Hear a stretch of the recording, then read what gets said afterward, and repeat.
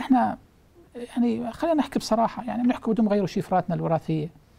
آه يعني هاي من يعني أنا راح أجيك فيها يعني آه من بعض الأقاويل اللي بتحدث بدهم يحطوا يعني الجيل الخامس في عقولنا بدهم يسيطروا علينا.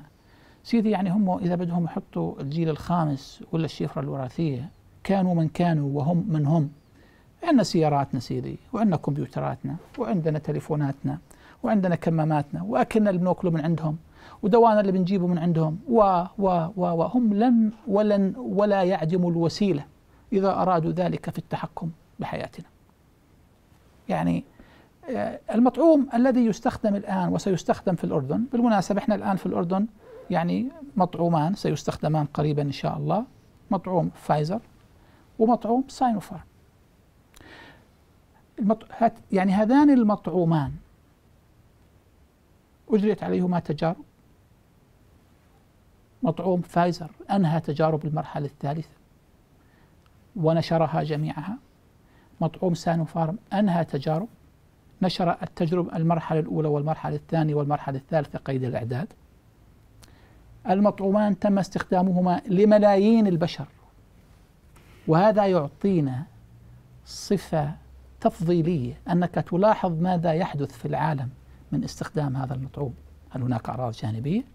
كيف هي فاعليته ما ما هو ما هي المخاطر التي لم نكن نعرف عنها.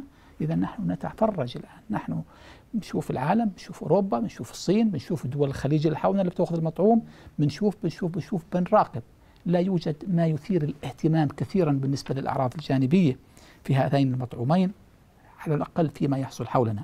اذا نحن نراقب مطاعيم استخدم منها ملايين ملايين الجرعات. واستكملت على الأقل مراحل أساسية من تجاربها. واستخدمت تقنيات إما كلاسيكية جدا كمطعوم سانو فارم أو متطورة جدا كمطعوم كمطعوم فايزر إذا آه، جربت هذه المطاعيم على أبنائهم سيدي. على أبنائهم. أحد أحد شروط التسجيل للمطاعيم في الأردن أن يكون المطعوم مستخدما في بلد المنشأ. يعني بالعربي مجربينه على أولادهم مجربينه على جماعتهم مجربينه على ربحهم. يعني هذا المطعوم لأنه بالحالة هذه يعني أنت بتأخذ مطعوم تأخذ طمأنينة أيضا. تأخذ طمأنينة زيادة آه، عن اللزوم أو زيادة بشكل بشكل طبيعي. اذا سيدي أيضا دعنا نكون يعني صريحين أكثر. من المؤلم والمحزن جدا أننا في القرن الحادي والعشرين عصر العلم والتكنولوجيا و و و الجينوم البشري كان يأخذ سنوات لفكه الآن يأخذ دقائق.